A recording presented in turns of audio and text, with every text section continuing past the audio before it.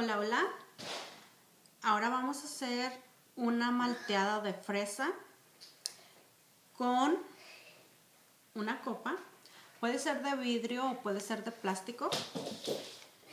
Un calcetín o lo pueden usar con toallitas de esas que son para la cara, chiquitas.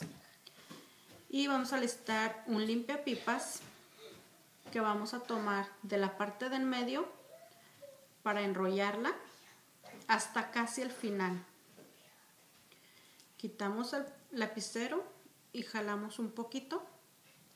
De esta manera nos queda nuestro popote. Vamos a comenzar por hacerlo. Es enrollar la calceta a lo largo desde el principio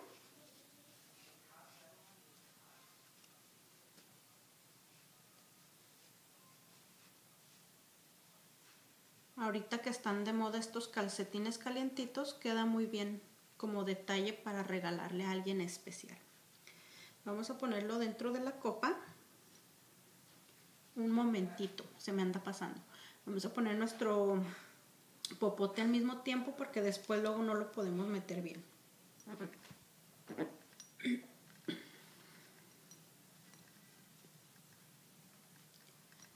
Ya que está adentro, vamos a tratar de jalarle un poquito las orillitas.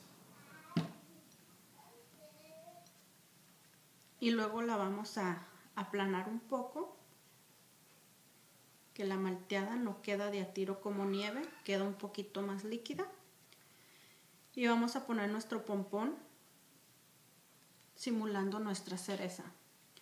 Espero que les haya gustado esta riquísima malteada y nos vemos la próxima. Bye bye.